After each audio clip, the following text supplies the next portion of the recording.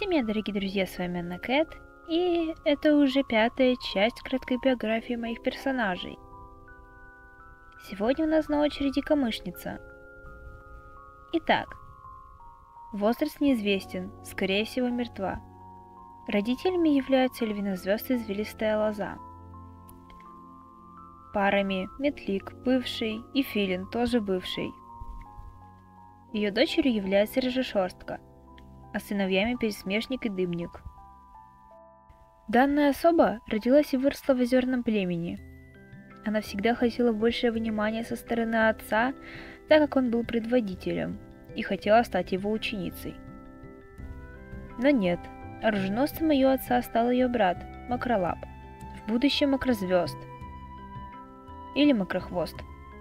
А наставницей камышовки стала Световейная – очень свободолюбивая кошка, которая в свое время хотела присоединиться к долинному племени, где жил один из ее братьев. Но она оставила эту затею под угрозой ухудшения своей репутации. Обо всем этом не знал Вина Звезд и доверил ей свою дочь, в результате чего камышовка выросла такой же. Плюсом они с наставницей часто ходили на границу с долинным племенем, где Световейная виделась со своим братом попутно рассказывая Камышовке о вольных полях и бескрайних просторах, и что на воле можно делать что хочешь и идти куда хочешь. Все это произвело огромное впечатление на молодую кошку. И даже когда у нее появилась первая любовь, а вскоре сын, это ее не остановило. И камышница покинула свое родное озерное племя, став одиночкой. Во время исследования окрестностей она заходит на территорию двуногих, где встречает свою вторую любовь, домашнего кота по имени Филин. Вскоре после этого у них рождаются котята – Дымник и Рыжешварска. Тогда Филин предлагает им перебраться жить к нему. Но камышница резко отказывает из-за своего характера и любви к свободе. Она забирает котят и решает воспитывать их на воле –